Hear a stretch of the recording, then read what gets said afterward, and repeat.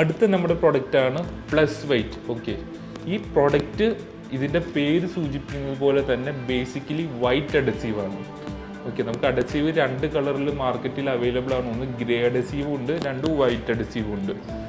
ഈ white adhesive ആൾക്കാർ ഏറ്റവും കൂടുതൽ യൂസ് ചെയ്യുന്നതിന്റെ ഒരു റീസൺ എന്താണെന്ന് വെച്ചിട്ടുണ്ടെങ്കിൽ ഈ നാച്ചുറൽ സ്റ്റോൺസിനെല്ലാം വെള്ളം വലിച്ചെടുക്കാനുള്ള കപ്പാസിറ്റി കുറച്ച് കൂടുതലാണ്. ഓക്കെ ഇപ്പോൾ നമ്മൾ ഗ്രേ അഡസീവ് വെച്ചിട്ട് നാച്ചുറൽ സ്റ്റോൺസ് അതായത് ലൈറ്റ് ഷെയ്ഡിലുള്ള അല്ലെങ്കിൽ പ്യൂർ വൈറ്റിലുള്ള നാച്ചുറൽ സ്റ്റോൺസ് എല്ലാം ലേ ചെയ്തിട്ടുണ്ടെങ്കിൽ ഫ്യൂച്ചറിൽ ഈ ഗ്രേ കളർ വലിച്ചെടുത്ത് ഈ നാച്ചുറൽ സ്റ്റോൺസിന് ഒരു ഡിസ്കളറേഷൻ വരാനുള്ള ഒരു ചാൻസ് ഉണ്ട്.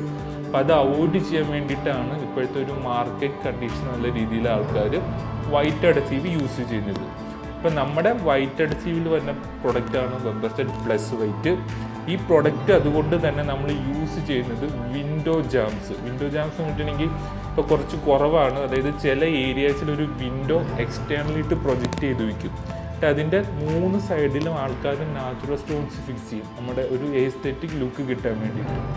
ഇതുപോലെ നാച്ചുറൽ സ്റ്റോൺസിന്റെ കുഞ്ഞു പീസസുകൾ ഈ പറയുന്ന വിൻഡോ ജാംസിൽ ഫിക്സ് ചെയ്യാൻ വേണ്ടിയിട്ടാണ് നമ്മൾ പ്ലസ് വെയിറ്റ് എന്നുള്ള പ്രൊഡക്റ്റ് യൂസ് ചെയ്യുന്നത്. ഇപ്പോൾ വിൻഡോ ജാംസ് എന്താണെന്ന് അറിയില്ലെങ്കിൽ ജസ്റ്റ് ഗൂഗിൾ ചെയ്ത് നോക്കിയാൽ മതി. നിങ്ങൾക്ക് ക്ലിയർ ആയിട്ടുള്ളൊരു പിക്ചർ കിട്ടും വിൻഡോ ജാംസിന്റെ ഓക്കെ